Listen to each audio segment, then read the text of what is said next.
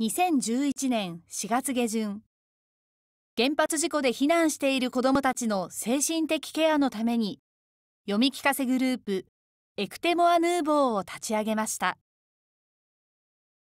避難所を回り読み聞かせ活動を行いました。写真は2011年5月のもので郡山市日和田の福島県農業センターで開催した読み聞かせの様子です。ちょうどひこにゃんが来てくれました。参加した子どもたちも喜んでくれていました。